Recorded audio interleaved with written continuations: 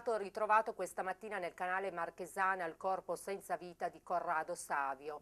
Il pensionato 78enne di Trino Vercellese era scomparso da casa martedì scorso.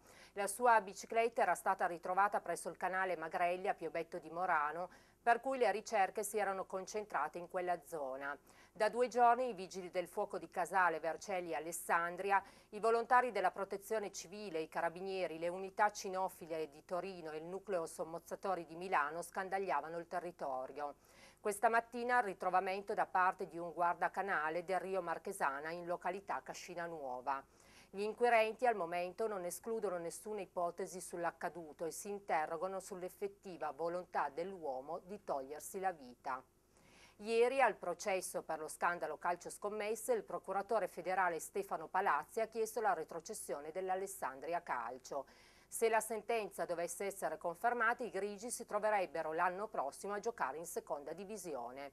L'avvocato difensore dei Grigi, Giovanni Trombetta, ha dichiarato che di fronte alla responsabilità diretta non poteva esserci altra richiesta. Una cosa che fa ben sperare, ha aggiunto l'avvocato, è che non sono state richieste ulteriori aggravanti come punti di penalizzazione nel campionato successivo o addirittura il rischio di ritrovarsi in terza categoria, cosa che può succedere a Ravenna. Il processo è proseguito oggi con gli interventi degli avvocati difensori delle altre società come previsto la sentenza definitiva dovrebbe arrivare lunedì prossimo. Domani entreranno in azione le ruspe per la realizzazione della 35 Ter, la nuova via di collegamento tra Serravalle e Novi. La strada, lunga circa 4 km, sarà composta da due lotti distinti e unirà la provinciale 35 dei Giovi, in vicinanza del casello autostradale della A7 di Serravalle Scrivia, con la provinciale 35 bis dei Giovi di Serravalle vicino alla zona industriale di Novi Ligure.